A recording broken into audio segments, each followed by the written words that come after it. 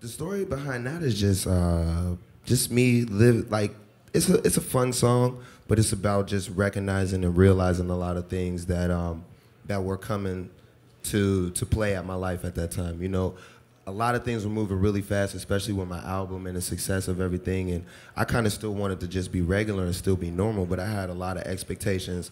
And I had a lot of things that people looked at as, oh, this comes with, with the life or what you're doing.